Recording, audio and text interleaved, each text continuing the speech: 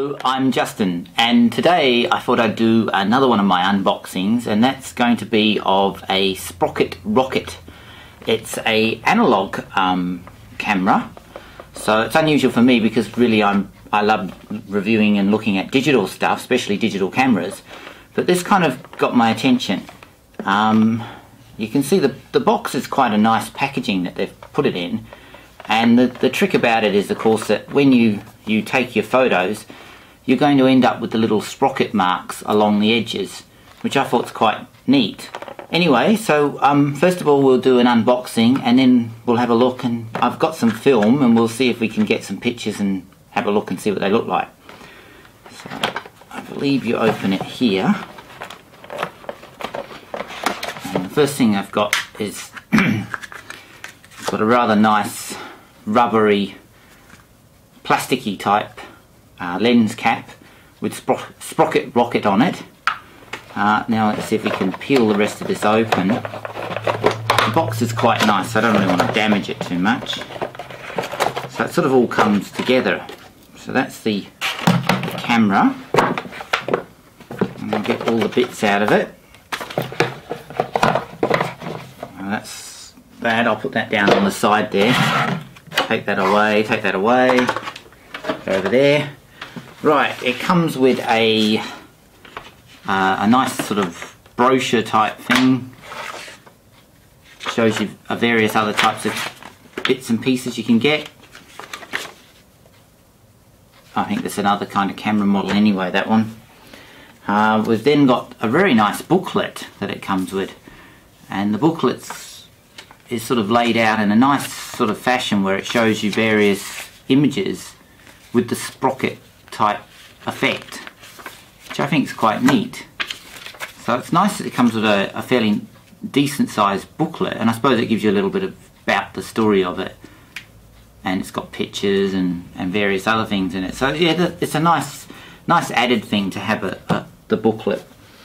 Uh, then we've got some sort of documentation, which I think is a, basically it's a manual to show you how to set your camera up and we've got another sort of brochure again on on the, the camera and the effect as you can see with the sprocket effect there of what it does.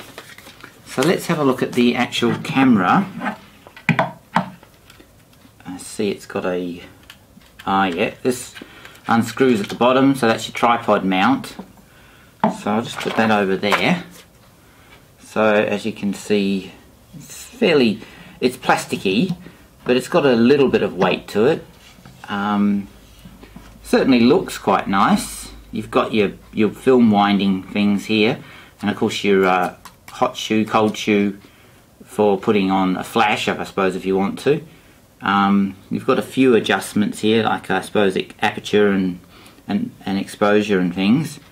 And of course the lens cap fits quite nicely over the front like that. Um, next we'll have to look at and see how you open this. I think you, oh yeah, you sort of pull the two apart like so and it's got that in the in there and that's basically a little bit of a thing. This frame removed if you want, yeah, see if you remove this frame you should be able to get your um, uh, your sprocket effect. Otherwise it will just take a normal picture. So next um, we'll get some film here.